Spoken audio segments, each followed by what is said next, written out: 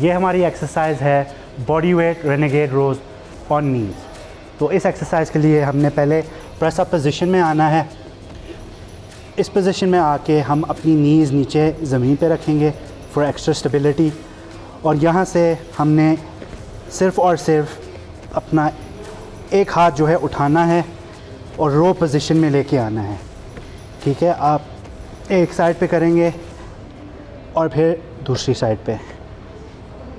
इसमें आपने ख्याल रखना है कि आपका कोर टाइट रहे और आप बैलेंस में रखें, रहें, ताकि जब एक हाथ आप उठाएँगे, आप नीचे कंट्रोल के साथ अपने आप को स्टेबल रख सकें।